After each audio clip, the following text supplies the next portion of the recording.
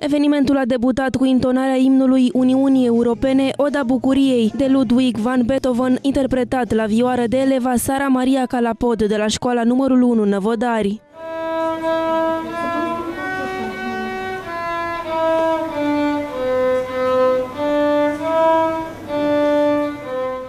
În cadrul aceluiași eveniment a avut loc și o întâlnire a etniilor din Dobrogea, ruși, lipoveni, tătari și români care și-au prezentat obiceiurile și, bineînțeles, o serie de gustări și deserturi tradiționale. Noi suntem aici de sute și sute de ani. Păi vedeți primul document despre localitatea Năvodar cu numele tătăresc Caracoium, datează din 1412 iar Mircea cel bătrân la 1380 spunea că este domn peste țara românească, dar și peste ținuturile tătărești.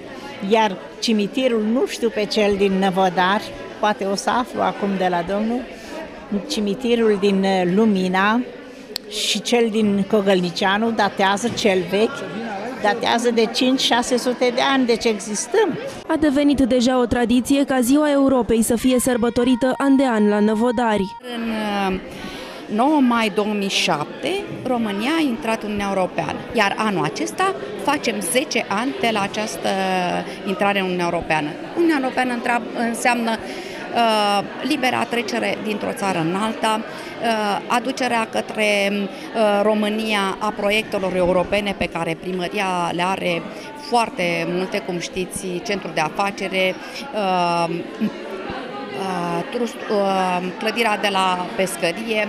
Casa de Cultură a avut 100 de mii de euro într-un proiect european Dialog între culturi și Sperăm că și de acum încolo vom avea proiecte noi. Voluntarii Bibliotecii Pontus Euxinu s-au implicat trup și suflet pentru ca organizarea să fie reușită. Noi, ca uh, o bibliotecă dintr-un uh, oraș aflat în Europa, vrem să ținem pasul cu progresul și atunci vrem să ne depășim condiția de bibliotecă um, care se ocupă numai de împrumutul, carte, informare și documentare, ci să adăugăm continuu noi servicii de bibliotecă. Iar astăzi, um, cu ocazia Zilei Europei, uh, am invitat uh, Enile din Năvodari, uh, la o întâlnire foarte interesantă, să ne povestească despre tradiții, obiceiuri, toate păstrate de-a lungul timpului. Menționăm că evenimentul a reprezentat cea de-a treia prezentare gastronomică cu produse tradiționale ale etniilor.